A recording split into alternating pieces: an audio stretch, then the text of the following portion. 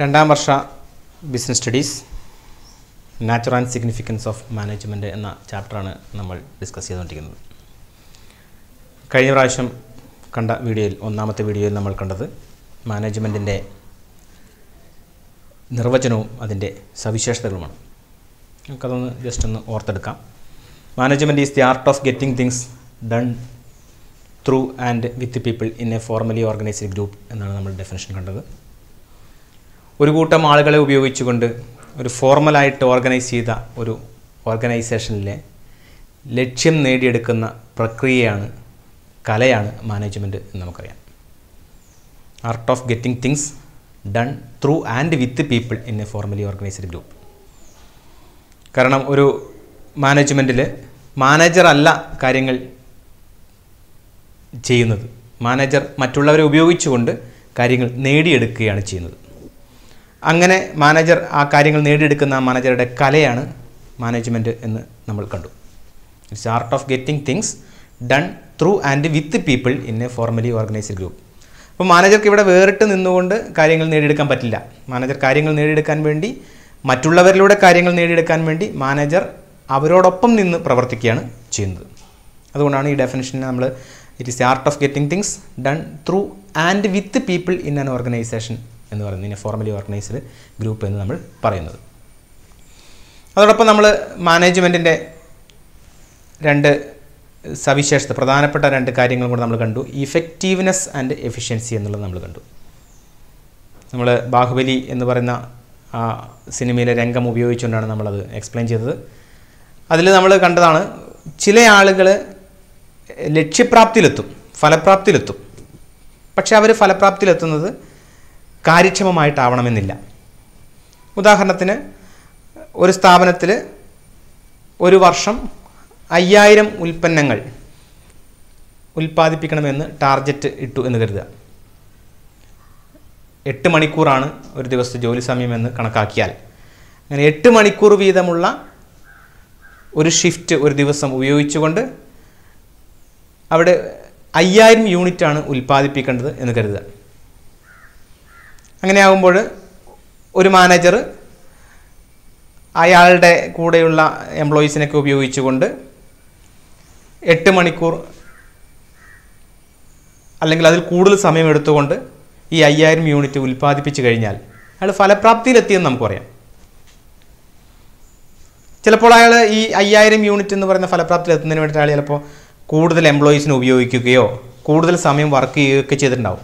അങ്ങനെയൊക്കെ ചെയ്യുമ്പോൾ അയാൾ അയ്യായിരം യൂണിറ്റ് ഒരു വർഷം എത്തിച്ചു കഴിഞ്ഞാൽ ഫലപ്രാപ്തിയിലെത്തിയെന്ന് പറയാം. എന്നാൽ വേറൊരു മാനേജർ അദ്ദേഹം വളരെ കുറഞ്ഞ ആളുകൾ ഉപയോഗിച്ചുകൊണ്ട് വളരെ കുറച്ച് സമയം ഉപയോഗിച്ചുകൊണ്ട് ഈ എട്ട് മണിക്കൂറൊന്നും ഒരു ദിവസം ഉപയോഗിക്കാതെ വളരെ കുറച്ച് സമയം ഉപയോഗിച്ചുകൊണ്ട് വളരെ കുറഞ്ഞ എംപ്ലോയീസിനെ ഉപയോഗിച്ചുകൊണ്ട് വളരെ ചുരുങ്ങിയ ചെലവിൽ ഈ അയ്യായിരം യൂണിറ്റ് ഉൽപ്പാദിപ്പിച്ചാൽ അയാൾ ഫലപ്രാപ്തിയിലെത്തിയെന്ന് പറയാം. അതോടൊപ്പം അയാൾ കാര്യക്ഷമമായി ഫലപ്രാപ്തിയിലെത്തിയെന്ന് നമുക്ക് പറയാം.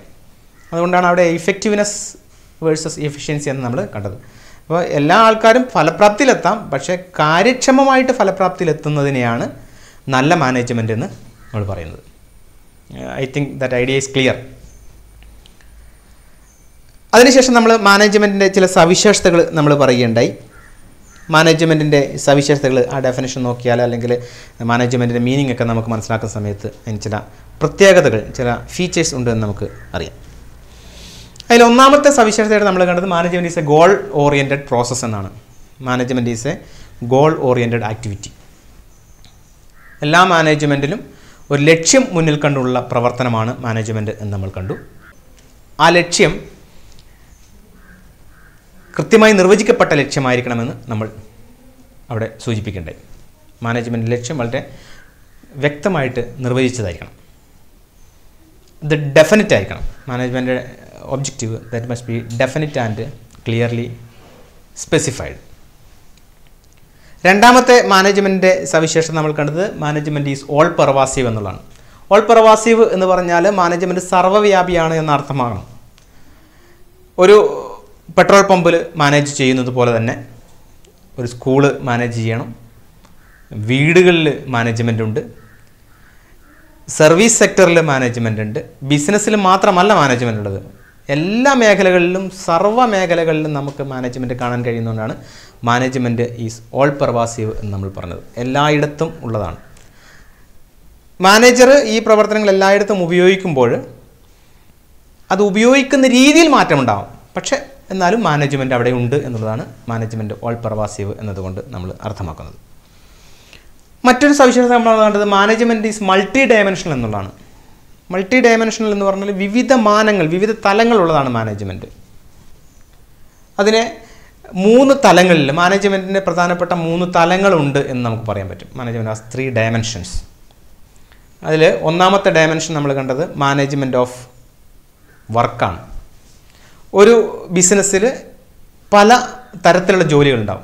ഈ ജോലികളെ മാനേജ് ചെയ്യൽ മാനേജ്മെന്റാണ് ഉദാഹരണത്തിന് ഒരു ഫാക്ടറിയിൽ ഉൽപ്പന്നങ്ങൾ ഉൽപ്പാദിപ്പിക്കുക എന്നുള്ളൊരു വർക്കാണ് അപ്പോൾ ആ ഫാക്ടറിയിലുള്ള ഉൽപ്പന്നങ്ങൾ ഉൽപ്പാദിപ്പിക്കുന്ന പ്രവർത്തനങ്ങളെ ഏകോപിപ്പിച്ചു കൊണ്ടുപോകുന്ന പ്രവർത്തനം മാനേജ്മെന്റാണ് ഇപ്പം മാനേജ്മെന്റ് ഓഫ് വർക്ക് എന്ന് പറയാം. സ്കൂളിൽ നമ്മൾ എടുത്തു കഴിഞ്ഞാൽ സ്കൂളിലെ അധ്യാപകർ ജോലി ചെയ്യുന്നത് പഠിപ്പിക്കുന്നത് ഒരു വർക്കാണ് പ്രിൻസിപ്പൽ ജോലി ചെയ്യുന്നത് ഒരു വർക്കാണ് അപ്പോൾ ആ പ്രവർത്തനങ്ങളെ മാനേജ് ചെയ്യുന്നത് മാനേജ്മെന്റാണ് രണ്ടാമത്തെ തലം മൾട്ടി ഡയമെൻഷൻ എന്ന് പറയുമ്പോൾ രണ്ടാമത്തെ തലം എന്ന് പറയുന്നത് മാനേജ്മെന്റ് ഓഫ് പീപ്പിളാണ് അവിടെ പ്രവർത്തിച്ചുകൊണ്ടിരിക്കുന്ന ആളുകളെ മാനേജ് ചെയ്യണം. ജോലി മാത്രം മാനേജ് ചെയ്താൽ പോരാ. അവിടെ പ്രവർത്തിച്ചുകൊണ്ടിരിക്കുന്ന ആളുകളെ മാനേജ് ചെയ്യണം. മാനേജ്മെന്റ് ഓഫ് പീപ്പിൾ ഇപ്പം നമ്മളിപ്പോൾ പറഞ്ഞ എക്സാമ്പിളിൽ സ്കൂളിൽ ജോലിയെ മാനേജ് ചെയ്യുന്നത് പോലെ തന്നെ ആ സ്കൂളിൽ പ്രവർത്തിക്കുന്ന ആളുകളെ മാനേജ് ചെയ്യണം. അതാണ് മാനേജ്മെന്റ് ഓഫ് പീപ്പിൾ എന്ന് പറയുന്നത്. മൂന്നാമത്തത് മാനേജ്മെന്റ് ഓഫ് ഓപ്പറേഷനാണ് മാനേജ്മെന്റിൽ ഒരു ബിസിനസ്സിൽ വിവിധ തരത്തിലുള്ള പ്രവർത്തനങ്ങൾ പ്രക്രിയകളുണ്ട്. ഈ പ്രക്രിയകളെ നമ്മൾ എന്ത് ചെയ്യണം? മാനേജ് ചെയ്യണം. അങ്ങനെ മൂന്ന് തലങ്ങളുള്ള പ്രവർത്തനമാണ് മാനേജ്മെന്റ് എന്ന് നമുക്ക് പറയാം. Management of work management of people management of operation നാലാമത്തത് management is a continuous process നമ്മൾ മാനേജ്മെന്റിന്റെ പ്രവർത്തനം എടുത്തു നോക്കിക്കഴിഞ്ഞാൽ it's a process it involve series of activities കുറേ പ്രക്രിയകൾ ഇങ്ങനെ തുടർന്ന് തുടർന്ന് വരുന്ന പ്രവർത്തനമാണ് മാനേജ്മെന്റ് എന്ന് പറയുന്നത്. അതുകൊണ്ടാണ് മാനേജ്മെന്റ് ഈസ് എ പ്രോസസ്സ് എന്ന് വിളിക്കുന്നത്. ആ പ്രോസസ്സ് മാനേജ്മെന്റ് പ്രോസസ്സ് എന്ന് പറയുന്നത് ഒരു കണ്ടിന്യൂസ് പ്രോസസ്സാണ് ഒരു തുടർച്ചയായ പ്രക്രിയയാണ്.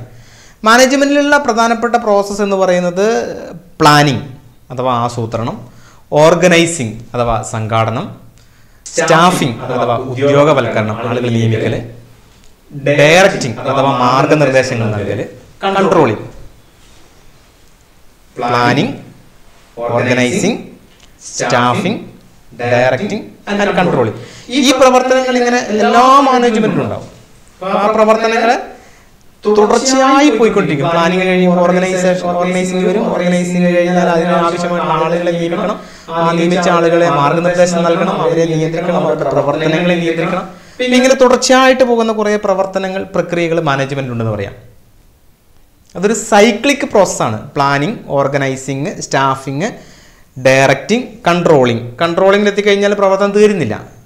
നമ്മൾ ഉദ്ദേശിച്ച രീതിയിലല്ല കാര്യങ്ങൾ പോകുന്നതെങ്കിൽ ഉടനെ തന്നെ വീണ്ടും നമ്മൾ മാറ്റി പ്ലാൻ ചെയ്യണം. അപ്പോൾ വീണ്ടും പ്ലാനിങ്ങിൽ തുടങ്ങും. ഇനി ഉദ്ദേശിച്ച പോലെ കാര്യങ്ങൾ സാധിച്ചു കഴിഞ്ഞാൽ അവിടെ പ്രവർത്തനം അവസാനിക്കുന്നില്ല. അടുത്ത കാര്യം നേടിയെടുക്കുന്നതിന് വേണ്ടി അടുത്ത പ്ലാൻ ഉണ്ടാക്കണം. അപ്പോൾ അതുകൊണ്ട് മാനേജ്മെന്റ് എന്ന് പറയുന്ന പ്രക്രിയ അതിന്റെ അകത്ത് ഉള്ള പ്രവർത്തനങ്ങൾ തുടർച്ചയായിട്ടുള്ള പ്രവർത്തനങ്ങളാണ് എന്ന് നമുക്ക് പറയാം. അതുകൊണ്ടാണ് മാനേജ്മെന്റിന്റെ പ്രത്യേകത നമ്മൾ പറയുമ്പോൾ management is a continuous process it is an on going process നിരന്തരം തുടർന്ന് പോയിക്കൊണ്ടിരിക്കുന്ന ഒരു പ്രക്രിയയാണ്. Management process is planning organising staffing directing and controlling മറ്റൊരു സവിശേഷത management is a group activity മാനേജ്മെന്റിന്റെ പ്രവർത്തനങ്ങൾ മാനേജ്മെന്റ് ഒരു ഒരു ഒരു കൂട്ടം ആളുകളുടെ പ്രവർത്തനമാണെന്ന് നമുക്ക് പറയാൻ സാധിക്കും. ഒരു സ്ഥാപനത്തിൽ വിവിധ ആളുകൾ ജോലിയിൽ പ്രവേശിക്കുന്നുണ്ട്. വിവിധ ആളുകൾ വിവിധ ഉദ്ദേശത്തോടുകൂടി ഒരു സ്ഥാപനത്തിൽ ജോലിക്ക് വരും. ഇപ്പം ചില ആൾക്കാർക്ക് നല്ലൊരു ഉപജീവനം കിട്ടാൻ വേണ്ടിയിട്ടായിരിക്കും ആ സ്ഥാപനത്തിൽ വർക്ക് ചെയ്യുന്നുണ്ടാവുക. ഒരു ബിസിനസ്സിൽ എംപ്ലോയീസ് വർക്ക് ചെയ്യുന്നുണ്ടാവുക. ചില ആളുകൾ അവരുടെ സ്റ്റാൻഡേർഡ് ഓഫ് ലിവിങ് കൂട്ടുന്നതിന് വേണ്ടിയിട്ടായിരിക്കും. അവരുടെ ജീവിത നിലവാരം ഉയർത്തുന്നതിന് വേണ്ടിയിട്ട് ജോലി ചെയ്യുന്നതായിരിക്കും നല്ല ശമ്പളം കിട്ടണമെന്ന ഉദ്ദേശത്തിൽ ജോലി ചെയ്യുന്നതായിരിക്കും നല്ലൊരു ഫാമിലി സെറ്റപ്പ് ഉണ്ടാക്കണമെന്ന ആഗ്രഹത്തിൽ ജോലി ചെയ്യുന്നതായിരിക്കാം. അങ്ങനെ വിവിധ ആഗ്രഹങ്ങളോട് സ്ഥാപനത്തിൽ ജോലി ചെയ്യുന്ന ആളുകളുണ്ട്. ഇങ്ങനെ വിവിധ ആളുകൾ വിവിധ ഉദ്ദേശത്തോടുകൂടി ഒരു സ്ഥാപനത്തിൽ ജോലി ചെയ്യുമ്പോൾ നമ്മുടെ സ്ഥാപനത്തിന് ഒരു പൊതുവായിട്ടൊരു ലക്ഷ്യം ഉണ്ടാവും. ചിലപ്പം ഉയർന്ന ലാഭം ഉണ്ടാക്കുക നല്ല മാർക്കറ്റ് സ്റ്റാൻഡിങ് നല്ല പോലെ മാർക്കറ്റിൽ നല്ല പേരെടുക്കുക ഉൽപ്പന്നങ്ങൾക്ക് കൂടുതൽ ഡിമാൻഡ് ഉണ്ടാക്കുക. അങ്ങനെ ഉൽ ആ സ്ഥാപനത്തിന് ഒരു പൊതുവായിട്ടുള്ളൊരു ലക്ഷ്യം ഉണ്ടാവും. അപ്പോൾ ഇവിടെ നമ്മൾ രണ്ട് ലക്ഷ്യങ്ങൾ കാണുന്നത്. ഒന്ന് ഇൻഡിവിജ്വൽ ഒബ്ജക്റ്റീവ്സ് ഓരോ വ്യക്തിക്കും പ്രത്യേകം പ്രത്യേകം വ്യക്തി താല്പര്യങ്ങൾ ഉണ്ടാവും. അതോടൊപ്പം സ്ഥാ- ആ വ്യക്തികൾ ജോലി ചെയ്യുന്ന സ്ഥാപനത്തിന് മൊത്തമായിട്ടൊരു ലക്ഷ്യം ഉണ്ടാവും. മാനേജ്മെന്റിന്റെ പ്രധാനപ്പെട്ട ധർമ്മം എന്താണെന്ന് ചോദിച്ചാൽ സ്ഥാപനത്തിന്റെ മൊത്തം ലക്ഷ്യം നേടിയെടുക്കുന്നതോടൊപ്പം തന്നെ സ്ഥാപനത്തിൽ പ്രവർത്തിക്കുന്ന ഓരോ വ്യക്തികളുടെയും വ്യക്തി താല്പര്യം കൂടെ സാക്ഷി സാക്ഷാത്കരിക്കാൻ സഹായിക്കണം. ഉദാഹരണത്തിന് ഒരു ബിസിനസ്സിന്റെ ലക്ഷ്യം നല്ല ലാഭം ഉണ്ടാക്കുക എന്നുള്ളതാണ്. കൂടിയ ലാഭം ഉണ്ടാക്കുക എന്നുള്ളതാണ് എന്ന് കരുതുക. അങ്ങനെ കൂടുതൽ ലാഭം ഉണ്ടാക്കുക ഉണ്ടാക്കുന്നതിന് വേണ്ടിയിട്ട് അവിടുത്തെ എംപ്ലോയീസ് എല്ലാം പ്രവർത്തിക്കുമ്പോൾ കൂട്ടായി പ്രവർത്തിക്കുമ്പോൾ സ്ഥാപനത്തിന്റെ ലാഭം കൂടുകയും ആ കൂടിയ ലാഭം ഉയർന്ന ശമ്പളമായിട്ട് തൊഴിലാളികൾക്ക് ലഭിക്കുകയും ചെയ്യും. അപ്പോൾ സ്ഥാപനത്തിന്റെ കൂടിയ ലാഭം എന്ന ലക്ഷ്യം സാധൂകരിക്കുന്നതോടൊപ്പം തന്നെ എംപ്ലോയീസിന്റെ ഉയർന്ന ശമ്പളം എന്ന വ്യക്തി താല്പര്യവും കൂടെ സംരക്ഷിക്കാൻ സാധിക്കും. ഇത് രണ്ടും ഏകോപിപ്പിച്ച് കൊണ്ടുപോകാനാണ് വ്യക്തി താല്പര്യവും സ്ഥാപനത്തിന് താല്പര്യവും ഏകോപിപ്പിച്ച് കൊണ്ടുപോകുക എന്നുള്ള കൂട്ടായ പ്രവർത്തനമാണ് മാനേജ്മെന്റ് എന്ന് നമുക്ക് പറയാൻ സാധിക്കും. അതുകൊണ്ട് management is a group activity എന്ന് നമ്മൾ പറയുന്നത്. Management is a group activity അടുത്ത നമുക്ക് കാണാൻ പറ്റുന്ന ഒരു സവിശേഷത എന്ന് പറഞ്ഞാൽ management is a dynamic process മാനേജ്മെന്റിന്റെ പ്രവർത്തനങ്ങൾ ഡൈനാമിക് ആണ്. കാരണം മാനേജ്മെന്റ് എന്ന് ഒരു ബിസിനസ്സിന്റെ മാനേജ്മെന്റ് പ്രവർത്തിച്ചു കൊണ്ടിരിക്കുന്നത് ബാഹ്യ പരിസ്ഥിതികളുമായി ബന്ധപ്പെട്ടുകൊണ്ടാണ് ഒരു ബിസിനസ്സിന്റെ ബാഹ്യ പരിസ്ഥിതി സാമൂഹ്യ ഘടകങ്ങൾ രാഷ്ട്രീയ ഘടകങ്ങൾ ഗവൺമെന്റിന്റെ ഘടകങ്ങൾ ഗവൺമെന്റുമായിട്ട് ബന്ധപ്പെട്ടുള്ള ഘടകങ്ങൾ അതുപോലെ തന്നെ അതിന്റെ ടെക്നോളജിക്കൽ സാങ്കേതികമായിട്ടുള്ള ഘടകങ്ങളൊക്കെ ബിസിനസ്സിന്റെ പുറത്തു നിന്ന് ബിസിനസ്സിനെ നിയന്ത്രിക്കുന്ന ഘടകങ്ങളാണ് അപ്പോൾ ഈ ഈ ഘടകങ്ങൾ ഈ ബാഹ്യ പരിസ്ഥിതിയിലുള്ള ഈ ഘടകങ്ങൾ നിരന്തരം മാറിക്കൊണ്ടിരിക്കും. ഗവൺമെന്റ് പോളിസി മാറാം സാമ്പത്തിക നയങ്ങൾ മാറാം സാങ്കേതിക വിദ്യ മാറാം. സാമൂഹ്യ പശ്ചാത്തലങ്ങൾ മാറാം. അപ്പം ഇങ്ങനെ മാറിക്കൊണ്ടിരിക്കുന്ന പരിസ്ഥിതിയിലാണ് ഒരു ബിസിനസ് പ്രവർത്തിക്കുന്നത്. അതുകൊണ്ട് നമ്മളൊരു തീരുമാനം ഒരു മാനേജ്മെന്റ് ഒരു തീരുമാനം എടുത്താൽ കാലാകാലത്തേക്ക് ആ തീരുമാനം കൊണ്ട് പോകാൻ മാനേജ്മെന്റിന് പറ്റില്ല. ബാഹ്യ പരിസ്ഥിതിയിൽ ഉണ്ടാകുന്ന മാറ്റത്തിനനുസരിച്ച് ആവശ്യമായ മാറ്റങ്ങൾ ബിസിനസ്സിന്റെ മാനേജ്മെന്റിലും വരുത്തണം. ഉദാഹരണത്തിന് എല്ലാ ടെക്നോളജി മാറുകയും എല്ലാ ആളുകളും ഓട്ടോമേഷനിലേക്ക് മാറുകയും ചെയ്യുക. എല്ലാ വ്യവസായങ്ങളും ഓട്ടോമേഷനിലേക്ക് മെക്കനൈസ് ചെയ്യുക. ഉദാഹരണത്തിന് നമ്മളിപ്പോൾ ഒരു സാങ്കേതികമായിട്ടുള്ള പരിസ്ഥിതിയിൽ മാറ്റമുണ്ടാകുകയാണെന്ന് നമ്മൾ സങ്കല്പിക്കുക. ബിസിനസ്സിന്റെ ബാഹ്യ പരിസ്ഥിതിയായ സാങ്കേതിക പരിസ്ഥിതിയിൽ മാറ്റം ഉണ്ടാകുക ടെക്നോളജിക്കൽ ഫാക്ടേഴ്സ് മാറുക. അതായത് എല്ലാ ബിസിനസ് സ്ഥാപനങ്ങളും ഓട്ടോമേഷനിലേക്ക് മാറുക. മെക്കനൈസ് ചെയ്യുക. അങ്ങനെ എല്ലാ സ്ഥാപനങ്ങളും മെക്കനൈസ് ചെയ്യുന്ന സമയത്ത് നമുക്ക് മാത്രം നമ്മുടെ മാനേജ്മെന്റ് മാത്രം മെക്കനൈസ് ചെയ്യുന്നില്ല എന്ന് വാശി പിടിച്ചിരിക്കാൻ റിജിഡായിട്ട് നിൽക്കാൻ പറ്റില്ല. മാറ്റമില്ലാതെ നമുക്കങ്ങനെ നിൽക്കാൻ പറ്റില്ല. അപ്പോൾ ബാക്കിയുള്ള സ്ഥാപനങ്ങളെല്ലാം ഓട്ടോമേഷനിലേക്ക് മാറുമ്പോൾ നമ്മളും ചിലപ്പോൾ ഓട്ടോമേഷനിലേക്ക് മാറുന്ന രീതിയിലേക്ക് നമ്മൾ നിർബന്ധിതരാകും അങ്ങനെ വരുമ്പോൾ നമ്മുടെ മാനേജ്മെന്റും അത്തരത്തിലുള്ള നടപടികൾ സ്വീകരിക്കുന്ന രീതിയിൽ അവരുടെ പ്ലാനിലും അവരുടെ ഓർഗനൈസിങ്ങിലൊക്കെ മാറ്റം വരുത്തേണ്ടി വരും. അതുകൊണ്ടാണ് മാനേജ്മെന്റ് എന്ന് പറയുന്ന പ്രക്രിയ ഒരു ഡൈനാമിക് പ്രോസസ്സാണ് എന്ന് പറയുന്നത്. ഇങ്ങനെ കൂടെ കൂടെ മാറിക്കൊണ്ടിരിക്കുന്ന ഒരു പ്രക്രിയയാണെന്ന് പറയുന്നത്. അപ്പോൾ ആ മാറി വരുന്ന ബാഹ്യ പരിസ്ഥിതിക്കനുസരിച്ച് അനുയോജ്യമായിട്ടുള്ള മാറ്റങ്ങൾ മാനേജ്മെന്റിലും വരുത്താൻ പറ്റുന്ന രീതിയിൽ അയവുള്ളതായിരിക്കണം മാനേജ്മെന്റ് എപ്പോഴും മാറ്റാൻ സാധിക്കുന്നതായിരിക്കണം മാനേജ്മെന്റ് എന്നുള്ളതുകൊണ്ടാണ് മാനേജ്മെന്റ് ഒരു ഡൈനാമിക് പ്രോസസ്സ് അല്ലെങ്കിൽ ഡൈനാമിക് ഫംഗ്ഷൻ എന്ന് നമ്മൾ പറയുന്നത്. അവസാനമായിട്ട് നമ്മൾ കണ്ടത് മാനേജ്മെന്റ് സവിശേഷത. Management is an intangible force എന്നാണ്. മാനേജ്മെന്റ് ഒരു ഇൻടാഞ്ചിബിൾ ഫോഴ്സാണ് അദൃശ്യ ശക്തിയാണ്. നമുക്ക് മാനേജ്മെന്റ് കാണാൻ പറ്റില്ല എവിടെയെങ്കിലും കാണാൻ പറ്റുമോ? അങ്ങനെ മാനേജ്മെന്റ് നമുക്ക് കാണാൻ പറ്റില്ല. പക്ഷേ ഒരു സ്ഥാപനത്തിൽ മാനേജ്മെന്റ് ഉണ്ട് എന്നുള്ളത് നമുക്ക് ഫീൽ ചെയ്യാം. അതെങ്ങനെ ഫീൽ ചെയ്യാം? നമ്മൾ ഒരു സ്ഥാപനത്തിൽ പ്രവർത്തിക്കുന്ന തൊഴിലാളികൾ അല്ലെങ്കിൽ ഒരു സ്ഥാപനത്തിലെ ആളുകൾ പൊതുവേ സംതൃപ്തരാണ്. അവർ വളരെ സന്തോഷത്തിലാണ്. അവർക്ക് കിട്ടുന്ന സേവനങ്ങളിൽ അവർ ഭയങ്കര ഹാപ്പിയാണ്. അവർക്ക് കിട്ടുന്ന റെമ്യൂണറേഷനിൽ അവർ ഭയങ്കര ഹാപ്പിയാണ്. അവരെ എപ്പോഴും നന്നായിട്ട് പ്രചോദിപ്പിച്ചുകൊണ്ടിരിക്കും മോട്ടിവേറ്റ് ചെയ്യിപ്പിച്ചുകൊണ്ടിരിക്കുകയാണ്. അപ്പോൾ അങ്ങനെ ഒരു സ്ഥാപനത്തിൽ പ്രവർത്തിക്കുന്ന ആളുകളൊക്കെ എപ്പോഴും സന്തുഷ്ടരാണ് അവർ സംതൃപ്തരാണ് എങ്കിൽ നമുക്ക് പറയാം ആ സ്ഥാപനത്തിലെ മാനേജ്മെന്റ് വളരെ നല്ല രീതിയിലുള്ള മാനേജ്മെന്റ് ആണ് എന്ന് നമുക്ക് നമുക്ക് ഫീൽ ചെയ്യാം. അല്ലാതെ നമുക്ക് മാനേജ്മെന്റ് എന്താണ് എന്ന് കാണാൻ പറ്റില്ല. അതുകൊണ്ടാണ് മാനേജ്മെന്റ് ഒരു അദൃശ്യ ശക്തിയാണ്. മാനേജ്മെന്റ് ഈസ് ഇൻടാഞ്ചിബിൾ ഫോഴ്സ് എന്ന് പറയുന്നത്. കാണാൻ പറ്റില്ല പക്ഷേ മാനേജ്മെന്റ് പ്രസൻസ് നമുക്ക് അറിയാൻ പറ്റും. ഈ ഇത്രയും കാര്യങ്ങളാണ് നമ്മൾ കഴിഞ്ഞ ക്ലാസ്സുകളിൽ നമ്മൾ ഡിസ്കസ് ചെയ്തത്. ഇനി നമ്മൾ മാനേജ്മെന്റിന്റെ സവിശേഷത എന്തൊക്കെയാണെന്നുള്ളത് ഒന്ന് ജസ്റ്റ് ഒന്ന് നമ്മൾ കണ്ടുപോവുകയാണ്. Management features of management characteristics of management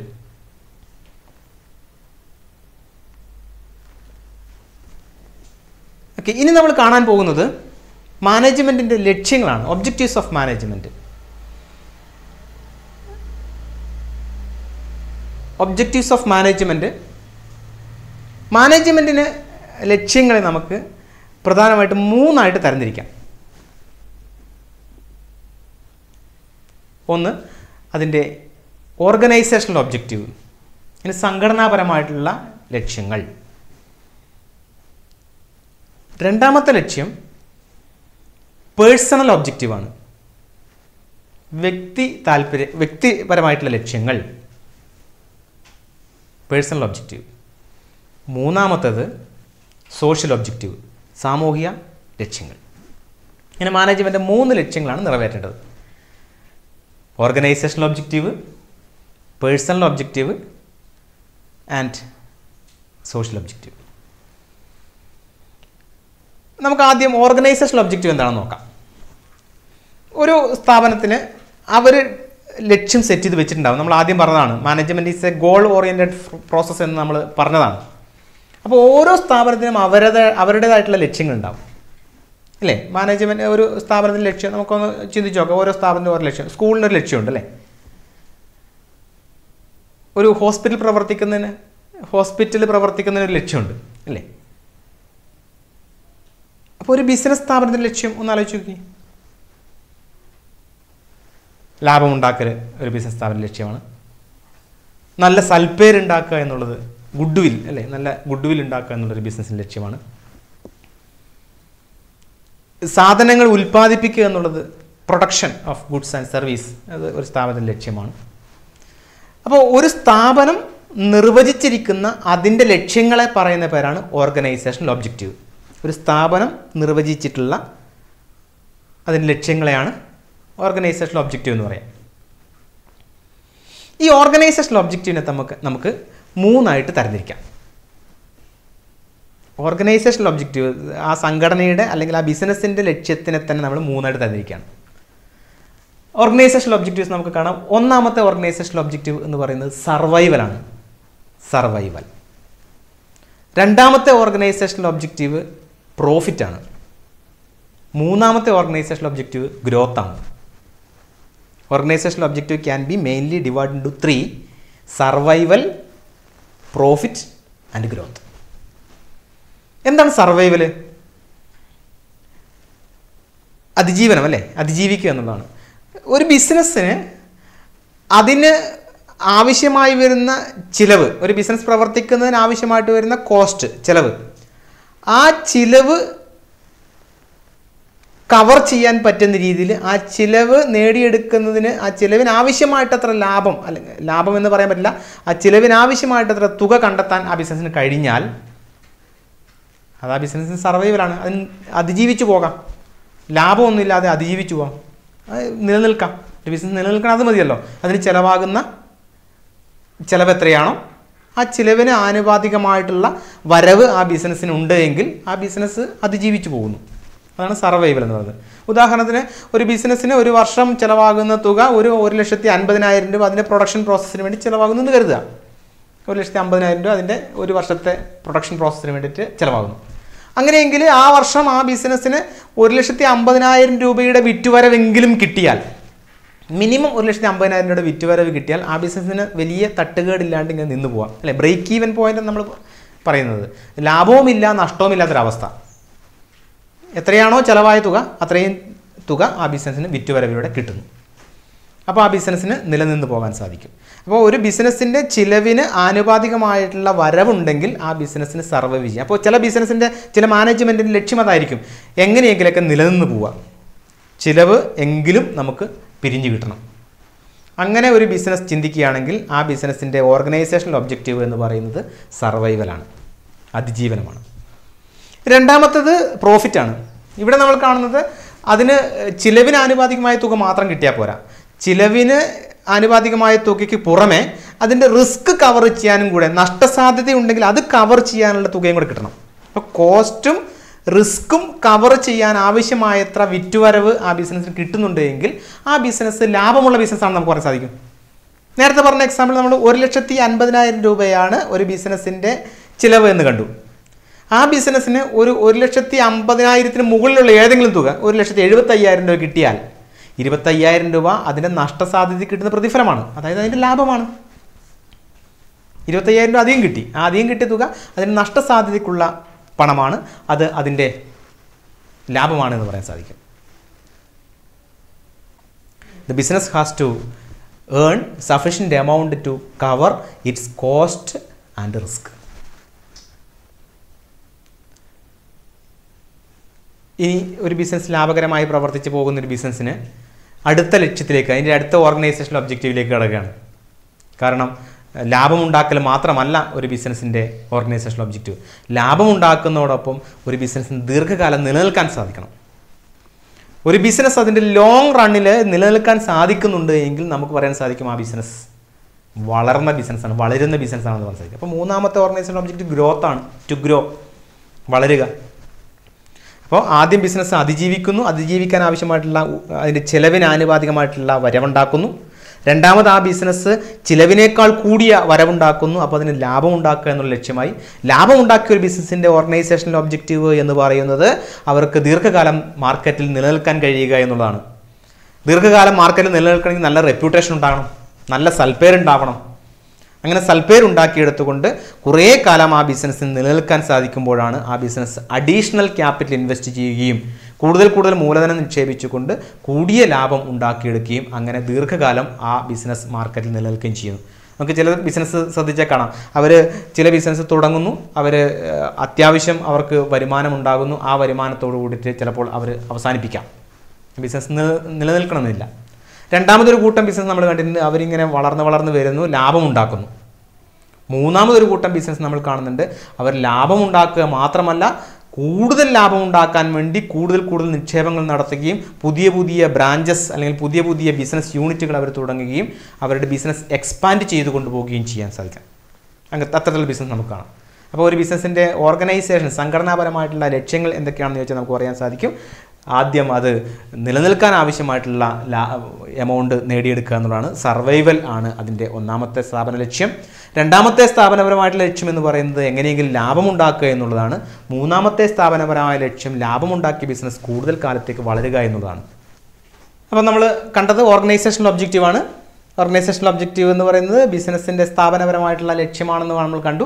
മൂന്ന് തരം ഓർഗനൈസേഷണൽ ഒബ്ജക്റ്റീവ് നമ്മൾ കണ്ടു. ആദ്യം അത് അതിജീവിക്കുക സർവൈവ് ചെയ്യുക രണ്ടാമത്തത് ലാഭമുണ്ടാക്കുക മൂന്നാമത്തത് വളരുക എന്നുള്ളതാണ് ലക്ഷ്യം. രണ്ടാമത്തെ ബിസിനസ് മാനേജ്മെന്റിന്റെ രണ്ടാമത്തെ ലക്ഷ്യം എന്ന് പറയുന്നത് പേഴ്സണൽ ഒബ്ജക്റ്റീവാണ് ഒരു സ്ഥാപനത്തിൽ ജോലി ചെയ്യുന്ന ആളുകൾ വിവിധങ്ങളായിട്ടുള്ള താല്പര്യങ്ങളുമായിട്ടാണ് ഓർഗനൈസേഷനിലേക്ക് വരിക എന്ന് നമ്മൾ ആദ്യം പറഞ്ഞിരുന്നു. അവരുടെ വിവിധ ആവശ്യങ്ങൾ നിറവേറ്റുന്നതിന് വേണ്ടിയിട്ട് അവർ സ്ഥാപനത്തിൽ ആളുകൾ ജോലി ചെയ്യുക.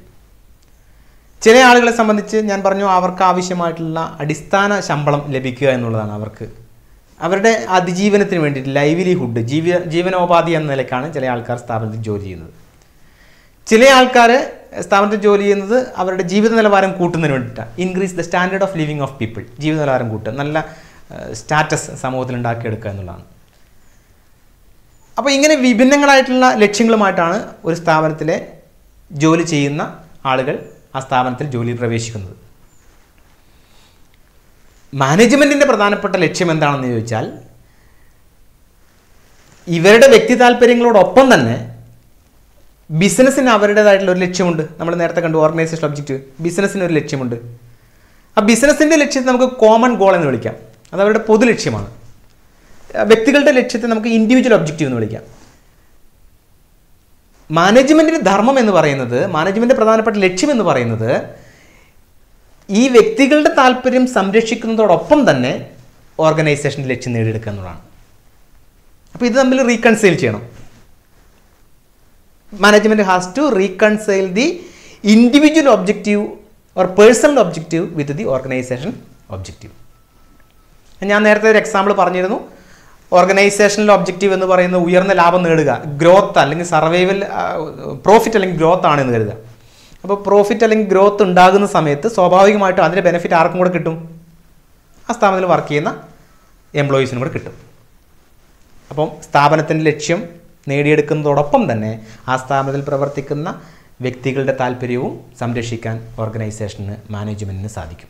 അതാണ് പേഴ്സണൽ ഒബ്ജക്റ്റീവ് വ്യക്തികളുടെ താല്പര്യം ആ സ്ഥാപനത്തിൽ ജോലി ചെയ്യുന്ന വ്യക്തികളുടെ താല്പര്യം സംരക്ഷിക്കുക. അതിലൂടെ ഓർഗനൈസേഷന്റെ താല്പര്യം സംരക്ഷിക്കുക. നേരെ ഓർഗനൈസേഷന്റെ ലക്ഷ്യം നേടിയെടുക്കുക. അതിലൂടെ വ്യക്തികളുടെ ലക്ഷ്യം നേടിയെടുക്കാൻ അവരെ സഹായിക്കുക.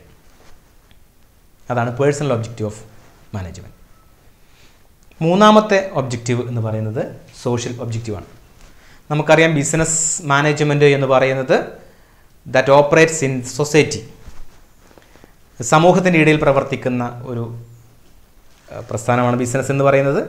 മാനേജ്മെന്റ് പ്രവർത്തിക്കുന്നതും ഈ സമൂഹത്തിന്റെ ഇടയിലാണ്. അതുകൊണ്ട് തന്നെ ഒരു ബിസിനസ്സിന്റെ മാനേജ്മെന്റിന് അതിന്റെ സമൂഹത്തോട് ചില സാമൂഹിക ഉത്തരവാദിത്തങ്ങളുണ്ട്. ഉദാഹരണത്തിന് ഒരു നാടിന്റെ അടിസ്ഥാന സൗകര്യങ്ങൾ വികസിപ്പിക്കുന്നതിന് ഒരു മാനേജ്മെന്റിന് സഹായിക്കാൻ സാധിക്കും. അല്ല ഒരു ബിസിനസ്സിന്റെ മാനേജ്മെന്റ് നല്ലതാണ് എങ്കിൽ സ്വാഭാവികമായിട്ടും അവിടുത്തെ ബിസിനസ് വളർച്ച പ്രാപിക്കുകയും അതിലൂടെ ആ പ്രദേശത്ത് കൂടുതൽ കൂടുതൽ അടിസ്ഥാന സൗകര്യങ്ങൾ എത്തിച്ചേരുകയും ചെയ്യുന്നതായിട്ട് നമുക്ക് കാണാം. അല്ലേ? ചില സ്ഥലങ്ങളിലൊക്കെ ബിസിനസ് പ്രവർത്തിക്കുമ്പോൾ നമ്മൾ കാണുന്ന ബിസിനസ് പ്രവർത്തിക്കാൻ ആവശ്യമായിട്ടുള്ള അനുബന്ധ സൗകര്യങ്ങൾ ഗതാഗതം ഇലക്ട്രിസിറ്റി കമ്മ്യൂണിക്കേഷൻ ഫെസിലിറ്റീസ് ഒക്കെ ആ നാട്ടിലേക്ക് വരുന്നതായിട്ട് നമുക്ക് കാണാം. അപ്പോൾ ഒരു മാനേജ്മെന്റ് നല്ലതാണെങ്കിൽ ബിസിനസ് കൂടുതൽ വളരുകയും സ്വാഭാവികമായിട്ട് ആ കൂടിയ ബിസിനസ്സിനെ സപ്പോർട്ട് ചെയ്യുന്നതിന് ആ ബിസിനസ്സിന്റെ പരിസ്ഥിതിയിലുള്ള അടിസ്ഥാന സൗകര്യങ്ങൾ വർദ്ധിക്കുന്നതും നമുക്ക് കാണാൻ സാധിക്കും. അപ്പോൾ ഒരു ബിസിനസ് മാനേജ്മെന്റ് ലക്ഷ്യം എന്ന് പറയുന്നത് ഇത്തരത്തിലുള്ള അടിസ്ഥാന സൗകര്യങ്ങളുടെ വികസനത്തിന് വേണ്ടി സമൂഹത്തെ സഹായിക്കലാണ്. അടിസ്ഥാന സൗകര്യങ്ങൾ വികസിക്കുമ്പോൾ ബിസിനസ് വികസിക്കുമ്പോൾ സ്വാഭാവികമായിട്ടും ആ പ്രദേശത്തുള്ള കുറേ ആൾക്കാർക്ക് തൊഴിലവസരം കിട്ടില്ലേ? അപ്പോൾ providing employment opportunities to the backward areas of the society സമൂഹത്തിന്റെ പിന്നോക്കം നിൽക്കുന്ന പ്രദേശങ്ങളിലെ ഒരുപാട് അൺഎംപ്ലോയിഡ് ആയിട്ടുള്ള തൊഴിൽ രഹിതരായിട്ടുള്ള ആളുകൾക്ക് തൊഴിൽ പ്രദാനം ചെയ്യുക എന്നുള്ളത് ഒരു ബിസിനസ്സിന്റെ സാമൂഹിക ലക്ഷ്യമാണ്. ചിലപ്പോൾ ചില ബിസിനസ് വരുമ്പോൾ അതിനോടനുബന്ധമായിട്ട് കുറേ അതിനോടനുബന്ധമായിട്ട് അവർ തന്നെ പ്രവർത്തിപ്പിക്കുന്ന ചില ആശുപത്രികൾ നമ്മൾ കണ്ടിട്ടുണ്ടല്ലോ. ഹോസ്പിറ്റൽസ് ചില ബിസിനസ് തന്നെ നേരിട്ട് മുൻകൈ എടുത്തുകൊണ്ടുള്ള ഹോസ്പിറ്റൽസ് നമുക്ക് കാണാൻ സാധിക്കും. അപ്പോൾ ഇത്തരത്തിലുള്ള ഹോസ്പിറ്റൽ പോലത്തെ അടിസ്ഥാന സൗകര്യങ്ങൾ കൊണ്ടുവരാൻ വേണ്ടിയിട്ട് ഒരു ബിസിനസ് അതിന്റെ മാനേജ്മെന്റ് അതിന്റെ സമൂഹത്തെ സഹായിക്കുന്നുണ്ട്. ഒരു സ്ഥാപനത്തിൽ വർക്ക് ചെയ്യുന്ന എംപ്ലോയീസ് അവരുടെ കുട്ടികളെയൊക്കെ സംരക്ഷിക്കുന്നതിന് വേണ്ടി നോക്കുന്നതിന് വേണ്ടിയിട്ട് ക്രഷസ് നമ്മൾ കണ്ടിട്ടുണ്ടാവും അല്ലേ? ചില സ്ഥാപനങ്ങളുടെ മുൻപിൽ കുട്ടികളെ പരിചരിക്കുന്നതിന് വേണ്ടിയുള്ള ക്രഷസ് ഉണ്ടാവാം. ചില സ്ഥാപനങ്ങൾ ചില നല്ല മാനേജ്മെന്റുള്ള ചില ആളുകൾ അവർ ചിലപ്പോൾ ചില സ്കൂളുകളൊക്കെ തുടങ്ങുന്ന നമ്മൾ കണ്ടിട്ടുണ്ടാവും. അല്ലേ? പല പ്രശസ്തമായിട്ടുള്ള പല കമ്പനികളുടെയും പേരുള്ള സ്കൂളുകൾ നമ്മുടെ മനസ്സിൽ ഇപ്പോൾ ഓർമ്മ വരുന്നുണ്ടാവും. അപ്പോൾ അവർ സ്കൂളുകൾ സമൂഹത്തിന് കൊടുക്കുന്നുണ്ട്. ഇങ്ങനെ നോക്കിയാൽ സ്കൂളുകൾ ക്രഷസ് ബേസിക് കമ്മ്യൂണിറ്റീസ് അടിസ്ഥാന സൗകര്യങ്ങൾ ഇൻഫ്രാസ്ട്രക്ചർ ഫെസിലിറ്റീസ് അതുപോലെ തന്നെ ആ, സ്ഥാപനത്തിൽ ആ സമൂഹത്തിലുള്ള ആളുകൾക്ക് തൊഴിലവസരങ്ങൾ ഇങ്ങനെ ഒരുപാട് സേവനങ്ങൾ ഒരു ബിസിനസ്സിന്റെ മാനേജ്മെന്റ് അതിന് സമൂഹത്തിന് നൽകുന്നുണ്ട്. അപ്പോൾ ഇത്തരം സേവനങ്ങൾ സമൂഹത്തിന് നൽകുക എന്നുള്ളതും ഒരു ബിസിനസ്സിന്റെ മാനേജ്മെന്റിന്റെ ലക്ഷ്യമാണ്. അപ്പം അങ്ങനെ ആകുമ്പോൾ നമ്മൾ മൂന്ന് പ്രധാനപ്പെട്ട മാനേജ്മെന്റ് ലക്ഷ്യങ്ങളാണ് നമ്മൾ കണ്ടത്. ഒന്നാമത്തേത് നമ്മൾ പറഞ്ഞു ഓർഗനൈസേഷണൽ ഒബ്ജക്റ്റീവാണ് ഓർഗനൈസേഷണൽ ഒബ്ജക്റ്റീവ് എന്ന് പറയുന്നത് ആ ഓർഗനൈസേഷൻ നിർവചിക്കുന്ന ലക്ഷ്യങ്ങളാണ്. അതിൽ തന്നെ നമ്മൾ മൂന്ന് തരം ലക്ഷ്യങ്ങൾ നമ്മൾ പറഞ്ഞു. ആദ്യമായിട്ടുള്ള ഓർഗനൈസേഷണൽ ഒബ്ജക്റ്റീവ് എന്ന് പറഞ്ഞാൽ എങ്ങനെയെങ്കിലും അതിജീവിക്കുക എന്നുള്ളതാണ് സർവൈവൽ എന്നുള്ളതാണ്. രണ്ടാമത്തേത് കുറച്ച് ലാഭമുണ്ടാക്കുക അതിനാവശ്യമായിട്ടുള്ള കോസ്റ്റ് ഓഫ് പ്രൊഡക്ഷനും കിട്ടണം. അതിനേക്കാൾ കുറഞ്ഞ കുറച്ചും കൂടെ തുകയും കൂടെ കിട്ടുമ്പോഴാണ് ആ ബിസിനസ് ലാഭമുണ്ട് എന്ന് പറയുന്നത്. സർവൈവൽ പ്രോഫിറ്റ് അതേപോലെ തന്നെ ദീർഘകാലം നിലനിൽക്കുന്നതിന് വേണ്ടിയിട്ട് വളർച്ച പ്രാപിക്കുക എന്നുള്ളത് ബിസിനസ്സിന്റെ ഓർഗനൈസേഷൻ ഒബ്ജക്റ്റീവാണ് രണ്ടാമത്തേത് നമ്മൾ കണ്ടത് പേഴ്സണൽ ഒബ്ജക്റ്റീവാണ് ഓരോ ആളുകളും വ്യത്യസ്ത താല്പര്യങ്ങളുമായിട്ടാണ് സ്ഥാപനത്തിലേക്ക് വരുന്നത്. അവരുടെ വ്യത്യസ്തമായിട്ടുള്ള താല്പര്യങ്ങൾ സംരക്ഷിക്കുന്നതോടൊപ്പം ഓർഗനൈസേഷന്റെ കോമൺ ഗോളും കൂടെ നേടിയെടുക്കുന്നതിന് വേണ്ടിയിട്ട് ബിസിനസ്സിനെ സഹായിക്കുകയാണ് മാനേജ്മെന്റ് അതാണ് അതിന്റെ പേഴ്സണൽ ഒബ്ജക്റ്റീവ് മൂന്നാമത്തെ നമ്മൾ കണ്ടത് സാമൂഹ്യ ഉത്തരവാദിത്തമാണ് സോഷ്യൽ ഒബ്ജക്റ്റീവാണ് ആ സോഷ്യൽ ഒബ്ജക്റ്റീവിൽ നമ്മൾ പറയുന്നത് ആ സമൂഹത്തിൽ ബിസിനസ് പ്രവർത്തിക്കുന്ന അല്ലെങ്കിൽ മാനേജ്മെന്റ് പ്രവർത്തിക്കുന്നതിന്റെ ചുറ്റുപാടുമുള്ള സമൂഹത്തിൽ ആവശ്യമായിട്ടുള്ള അടിസ്ഥാന സൗകര്യങ്ങൾ ഒരുക്കി കൊടുക്കുക. അവിടെ ആവശ്യമായിട്ടുള്ള എംപ്ലോയ്മെന്റ് ഓപ്പർച്യൂണിറ്റീസ് തൊഴിലവസരങ്ങൾ പ്രദാനം ചെയ്യുക. സ്കൂളുകൾ ഹോസ്പിറ്റലുകൾ അതുപോലെ തന്നെ അമ്യൂണിറ്റീസ് ഒക്കെ പ്രൊവൈഡ് ചെയ്യുക എന്നുള്ളത് ഒരു ബിസിനസ്സിന്റെ സാമൂഹ്യ ഉത്തരവാദിത്തമാണ് എന്ന് കാണാം